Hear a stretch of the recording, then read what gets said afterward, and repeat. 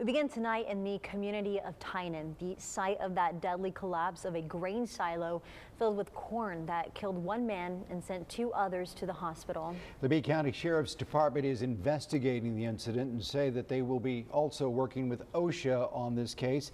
Our Michael Gibson has the details for us in tonight's top story at 6.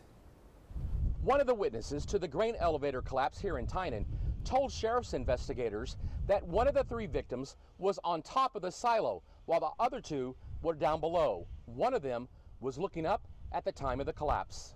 That man who was underneath the grain silo collapse was 37 year old Sergio Jason Alvarez. His body was found several hours after the accident. The man on top of that silo was believed to be Ben Mingers, and the other man on the ground was Andreas Martinez both recovering at Spohn Shoreline Hospital from their injuries. The initial investigation is, is that it's an accident.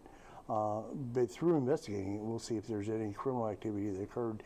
We haven't seen any any of that so far. The Bee County Sheriff's Office is investigating the accident and will be joined by OSHA to try and get to the bottom of this tragedy. We're not really exactly sure what caused uh, the, the the collapse, whether it was striking it or just. Uh, too much uh, in one area or outdated equipment. We're not really sure. We're looking into that.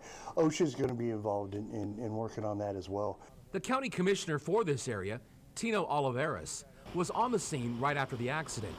He says he was impressed by the rescue effort taking place as some 250 emergency personnel and other Good Samaritans from across the area showed up to help dig the victims out of the tons of corn they were trapped in. Once I arrived upon the scene, uh, thank God there was a lot of support uh, that was given.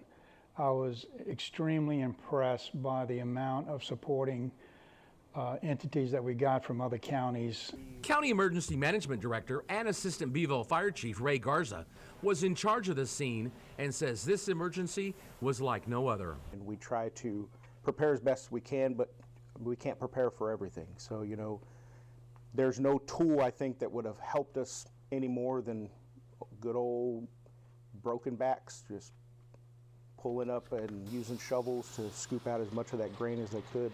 Hard work that paid off as two lives were saved on this day. From Tynan, Michael Gibson, 3 News.